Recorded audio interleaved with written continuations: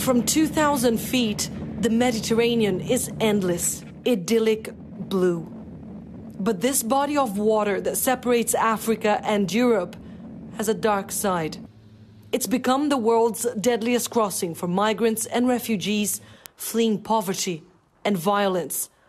Last year, more than 3,000 people drowned in these waters. Benoit Micolon is among those who decided to do something about it. With friend José Benavente, he bought a single engine aircraft and began conducting surveillance missions over international waters off the coast of Libya. Nearly every day, they take off from the Italian island of Lampedusa with one objective to spot migrant boats before it's too late. L'objectif premier, c'est que ces gens ne se noient pas. Après, on peut aussi. On droit d'espérer que ces gens euh, ne soient pas ramenés dans un, un lieu qui n'est pas sûr pour eux.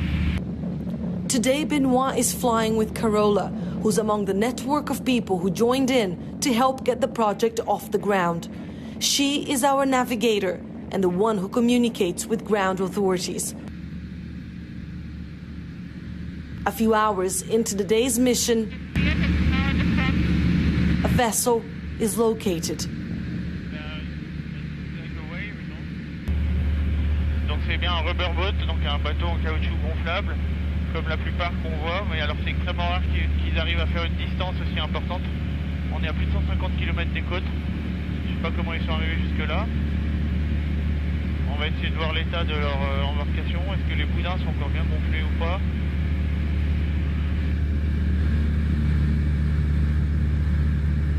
Bon, bah.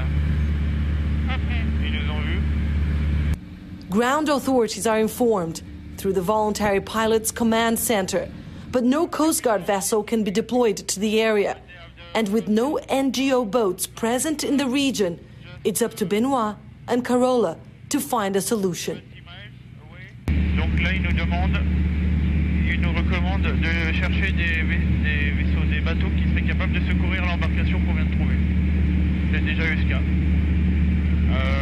Probablement qu'il n'arrive pas à coordonner avec les, avec les Libyens, quoi que ce soit.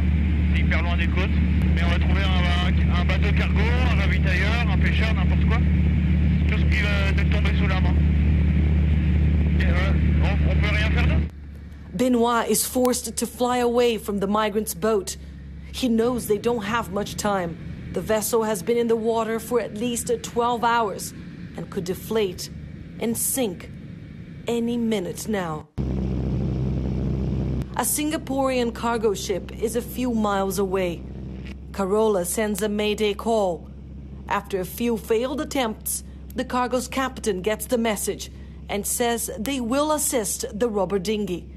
But our plane can't stay to make sure that happens. We must head back to land. We're now heading back to Lampedusa after four and a half hours of flight. This is because the, the sun is setting and we cannot risk flying to fly overnight. We know that there is another boat that was spotted not far from uh, this position, but right now there isn't enough time to actually go and check on the status of that vessel. All we know is that this is going to continue. Uh, everyone involved in these operations say the same thing, that boats keep coming, that people keep trying to cross from Libya and into Europe. There are plenty of hurdles in the way of people like Benoit and Carola who go out of their way to help save lives. Volunteers say their work is being made increasingly difficult by growing anti migrant sentiment in Europe, and the mission depends on donations to continue to operate. But and Carola say that for as long as there are people desperate enough to cross the Mediterranean, they will be out on board the Colibri, trying to do their part. Annelise Borges aboard the Colibri for Euronews.